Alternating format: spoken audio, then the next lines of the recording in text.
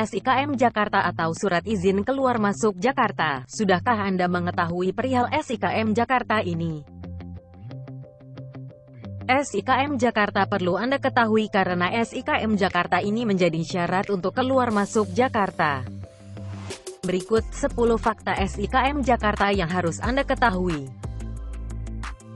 1. Apa itu SIKM adalah surat izin keluar masuk. SIKM Jakarta menjadi syarat untuk keluar masuk Jakarta. Bagi masyarakat yang punya SIKM, maka harus ditunjukkan ke petugas agar diizinkan. Jika tak memilikinya, maka tak akan diperkenankan pergi atau masuk Jakarta. 2. SIKM Jakarta diatur dalam Pergub. SIKM Jakarta sudah diatur dalam Peraturan Gubernur Pergub Nomor 47 Tahun 2020 tentang pembatasan kegiatan berpergian keluar dan atau masuk provinsi daerah, khusus Ibu Kota Jakarta dalam upaya pencegahan penyebaran coronavirus di SAISE 2019 COVID-19.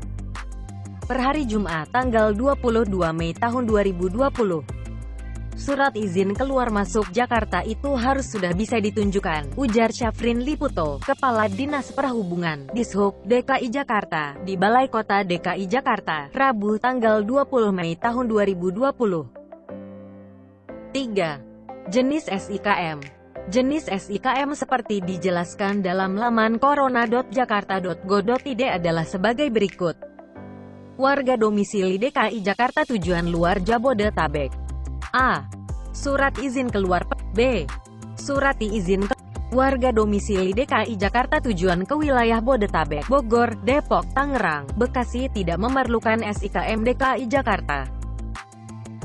Warga domisili non-Jabodetabek tujuan DKI Jakarta. A.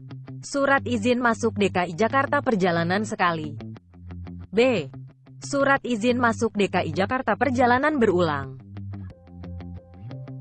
Warga domisili wilayah Bodetabek tidak memerlukan SIKM DKI Jakarta. 4. Syarat buat SIKM Jakarta Disingkat dari tampilan laman permohonan SIKM dituliskan persyaratan, antara lain latar belakang kebutuhan pemohon, seperti pengantaran logistik instansi, dan seterusnya. Juga membutuhkan penjelasan apakah surat untuk digunakan sekali atau lebih dari sekali serta surat pengantar dari RT dan RW, surat keterangan perjalanan dinas dan tempat kerja, sampai pas foto berwarna. 5. Cara buat SIKM Jakarta Berikut cara buat SIKM Jakarta 1. Mengisi formulir 2. Menyertakan surat pengantar dari ketua RT yang diketahui ketua RW tempat tinggalnya 3. Menyertakan surat pernyataan sehat bermaterai 4 menyertakan surat keterangan perjalanan dinas keluar Jabodetabek. 5. Menyertakan surat keterangan 6. Menyertakan surat keterangan memiliki usaha bagi pelaku usaha di luar Jabodetabek diketahui pejabat berwenang. 7. Bagi orang asing harus memiliki KTP, izin tinggal tetap.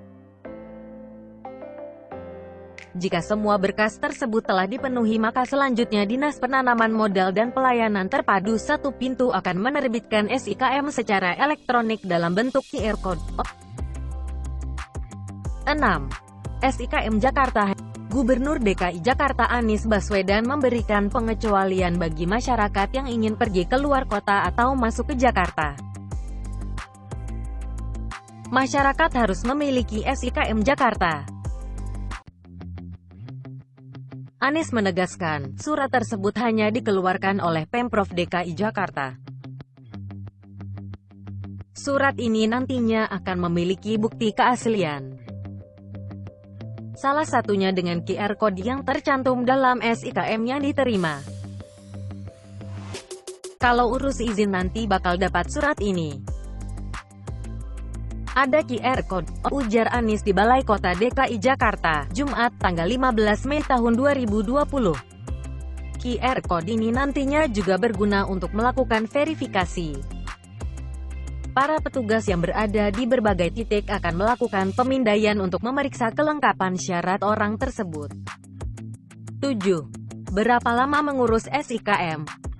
Syafrin Liputo, Kepala Dinas Perhubungan DKI Jakarta, pada Jumat tanggal 22 Mei tahun 2020, menyatakan bahwa situs untuk permohonan SIKM sangatlah user-friendly.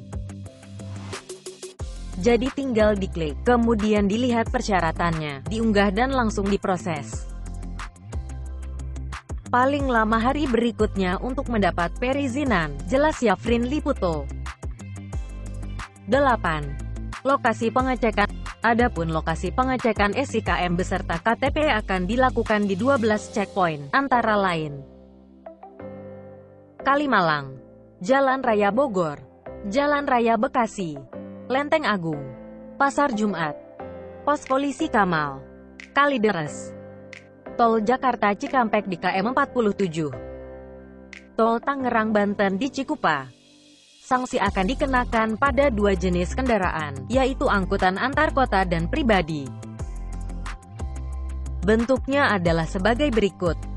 Angkutan antar kota akan diputar balikan jika bergerak ke arah luar kota atau dari luar ke dalam kota. Kendaraan pribadi, pergerakan antar wilayah Jabodetabek dibolehkan. Untuk keluar kota, hanya bisa bila disertai surat tugas, surat keterangan sehat, KTP. 9 pemalsuan SIK, pemalsuan surat atau manipulasi informasi elektronik dan atau dokumen elektronik dapat dikenakan pasal 263 KUHP dengan ancaman pidana paling lama 6 tahun penjara, dan atau pasal 35 dan pasal 51 UIT nomor 11 tahun 2008 dengan ancaman hukuman paling lama 12 tahun penjara dan atau denda paling banyak 12 miliar. 10. Pengurusan SIKM gratis. Pengurusan perizinan ini tidak dipungut biaya, gratis. Jika ada biaya pemungutan, harap laporkan melalui Jaki atau saluran pengaduan cepat respon masyarakat. Untuk mempermudah proses pengurusan izin, Anda disarankan mengurus izin menggunakan laptop atau personal komputer PC. Suara.com Jadi bagaimana menurut Anda?